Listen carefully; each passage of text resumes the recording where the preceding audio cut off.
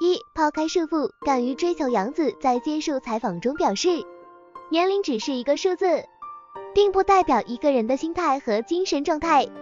重要的是，我们要摆脱传统思维的束缚，敢于追求自己的梦想和热爱。正如杨子所说，只要你心态年轻，永远有追求新鲜事物的兴趣，那么你就能一直年轻下去。两、保持好奇心，持续学习。杨子强调，保持好奇心和对新事物的求知欲是保持年轻心态的重要因素。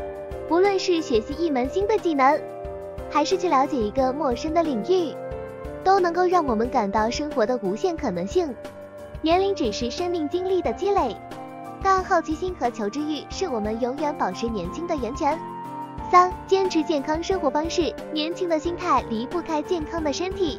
杨子强调了健康生活方式的重要性，包括良好的饮食习惯和适度的运动。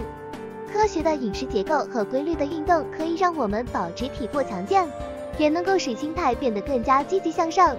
四、培养积极的社交圈子。积极的社交圈子是心态年轻的关键。与年轻人交流和互动，了解新的潮流和思维方式，能够让我们保持与时俱进，不被生活琐事磨灭热情。只要与积极向上的人为伍，就能够让我们始终保持年轻的活力。结语：杨子的心态之道给了我们很多启示和思考。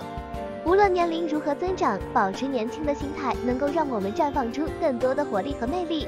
让我们向杨子学习，抛开岁月的束缚，用年轻的心态去追求梦想，享受生活的每一天吧。